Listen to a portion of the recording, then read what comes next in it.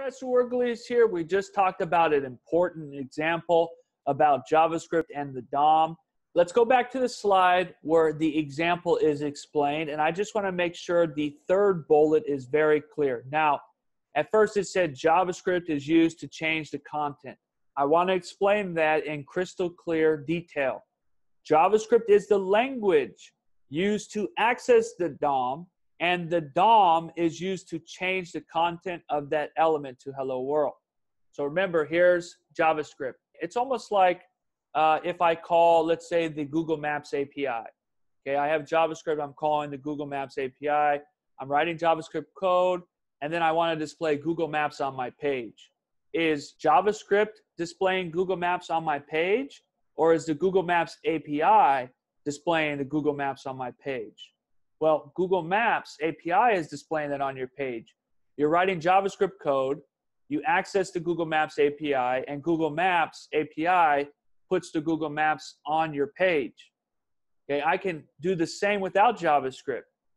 I could use, let's say, uh, PHP or Node or Angular, any of the programming languages, even though those are related.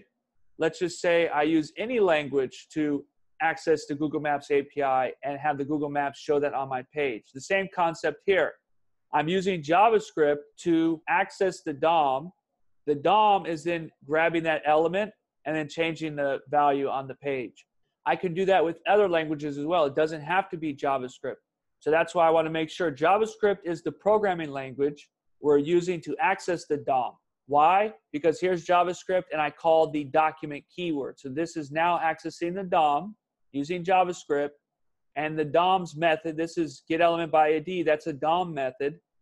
And inner HTML is a DOM property. So I'm using the DOM to then change the contents dynamically that is written in JavaScript. I could also write this in other languages as well. So let's talk about JavaScript and the HTML DOM and the different methods and properties we've looked at. So remember, get element by ID is a method. It's the most common way to access an HTML element. Remember, get element by ID is a method, and it's the most common way to access an HTML element by using that ID of the element. Why is it the most common way? Because usually you want to grab one element. If you want to grab one element, you're going to grab it by ID. If you want to grab multiple elements, you may grab it by class or by type. In the previous example, we used the get element by ID method, which is used to find ID equal to demo in the HTML DOM. So I'm using get element by ID, which is a method to find the element where ID is equal to demo. Now, the inner HTML is a property. It's the easiest way to get the content of an element, and it's also used to set or replace the content of an element. Okay, I'm going to use inner HTML property to get the content of an element. I can also use the inner HTML property to get or replace, to set or replace the content of HTML. Okay, so these are all DOM methods and properties. Inner HTML can be used to get or change any HTML element, including the HTML tag and the body, which is how single page applications are made. So I can have a blank HTML document and I can change the contents of the HTML tag or the body tag, and my page can be completely dynamic at runtime. Okay, which is why the HTML DOM is so powerful. The HTML DOM, it's the document object, is the owner of all objects in your web page. The HTML DOM or the document object model is a document object representation of your web page. If you want to access any element in the HTML page, you always start with accessing the document object. Below are some examples of how you can use the document object to access and manipulate HTML. Let's take a look at some examples. Let's say I want to find HTML elements. I can do get element by ID. That's going to find one element. I could do get elements by tag name. So let's say I want to find all the paragraph tags or all the divs or by class name. I can specify a class and multiple elements will return as an array. Or if I want to change HTML elements, I can change the inner HTML. I can change an attribute. I can set an attribute. Or I can change the style of the HTML element. Or let's say I want to add elements. Let's say my body is empty. I want to add a paragraph tag that has not been created. I can create an element or remove a child, append a child, or replace a child.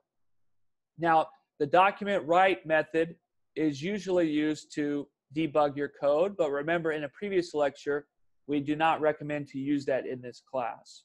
We also have event handlers. Let's say I want to use JavaScript to place an on click on a paragraph tag with ID equal to demo. On click wasn't there before. Using the DOM, I can write JavaScript to access the DOM to add that event handler on the HTML element, even though it wasn't there before. Now let's talk about changing HTML. The DOM allows JavaScript to change the content of HTML elements. I'm writing JavaScript code, I'm accessing the DOM, and the DOM is changing the HTML element. So that's allowing JavaScript to change the HTML element. Changing HTML content is the easiest way to modify content of an HTML element, and usually we're going to do that by the inner HTML property. So if I want to change content of an HTML element, you're going to use this syntax. Document, I'm accessing the DOM, dot get element by ID, that's the method, dot inner HTML is the property, and I'm going to set that equal to the new HTML, which we've seen in the previous example. Okay, but let's make sure we clearly understand this example. Here I have the HTML tag. Inside the body, I have a paragraph tag with ID equal to P1. At first, it says hello world. Okay, this is going to be in the source code. Then, after the paragraph tag is loaded, a script tag is now loaded. It's going to access the DOM. I'm going to use the DOM's method, get element by ID. I'm looking for P1 as the ID. Once I find that, if it's available, I'll change the inner HTML to equal new text. So once this loads, the HTML is going to load sequentially. So it's going to start at the top and load to the bottom line by line. So it loads the HTML tag, it's going to load the body. It's going to load the paragraph tag, it's going to say hello world, and it's going to set the ID equal to P1. Here comes the script tag. It's going to use the DOM. So it's going to access the DOM. It's going to call the DOM's method, get element by ID. It's going to search for P1. P1 is available, so it found it. Now it's going to change the inner HTML property. Instead of hello world, it's now going to say new text. Once the DOM has finished loading, once the HTML tag closed, the user will now see new text instead of hello world. So the HTML document above contains a paragraph tag with ID equal to P1. We're going to use the HTML DOM to get the element with ID equal to P1, and we're going to change the content, the inner HTML of that element to new text. Now it says JavaScript changes the content, but JavaScript is just the programming language that's accessing the DOM, and the DOM's changing the property. Okay, so it's kind of a pipeline there. So technically, JavaScript's the language that accesses the DOM, and the DOM changes the property of that element to new text. Two more examples. Let's take a look at changing the value of an attribute.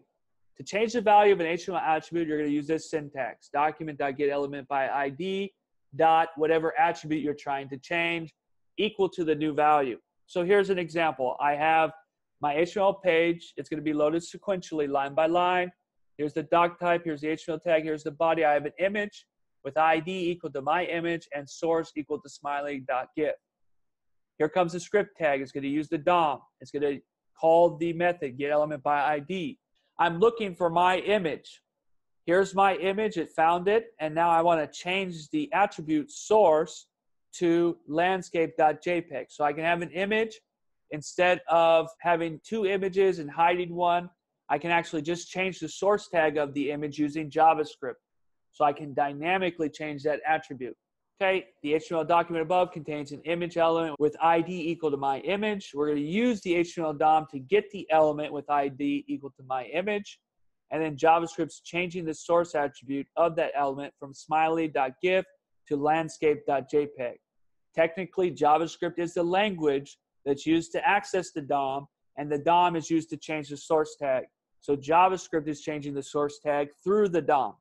Okay, that's what that sentence here means. So on an exam, I'm writing what is actually happening here. So on an exam, you can say the right things as well. So if I wanted to say this crystal clear, I'd actually change it a little bit.